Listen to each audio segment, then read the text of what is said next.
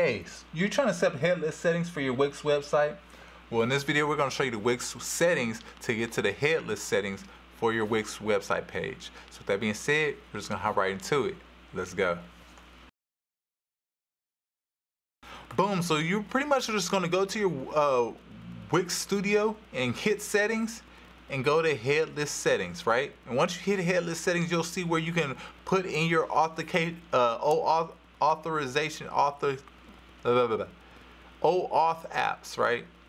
I to say it's authorization, but authorization apps. But essentially allows you to link other apps or other APIs to your website and back and forth. This is a way more advanced technique, uh, and I, I can't say I know a lot about it. This was more this this lesson is more in the case of if you didn't know about it, this is where you'll find it. So with that being said, you'll find it in your Wix settings. If you go to settings, you'll see headless settings and you can go to where you can start to add your APIs and do these uh, and create an authorized uh, authorized app, right? So again, you'll name the app, give it a description, and let's see, let's just app. Let's just create one, right? Real quick. Let's see what we get.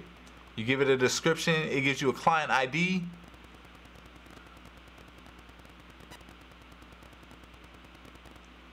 You see, you uh, link your domain, direct domains, right?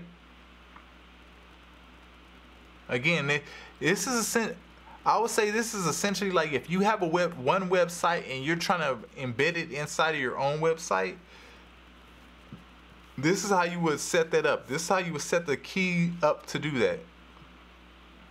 I know this is a, a, a more of an advanced thing that I've never done before. I'm gonna be totally honest with you. I've never done before, but again, it's similar to uh, a lot of the other different applications that if you want to interact with one website on another website, you would set up a, some type of key that communicates between the two websites. So if one thing changes on this site, it'll update that site. So again, if you have a website and you get an authorization key from one site, then it'll update the site that you are working on.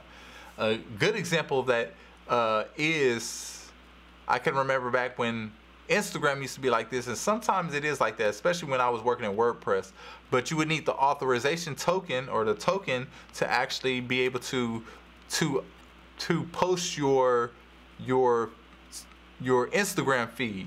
So as you update your Instagram feed, it will be on your website. So again, it's kind of like set up that authorization where it can show it to your to your website. Again, that, that's that's the best example I could give right now. But that's how exactly how you get to that. This is this is how you would get to that right here. And if you are familiar with that, then pretty much you've already you know exactly where to go.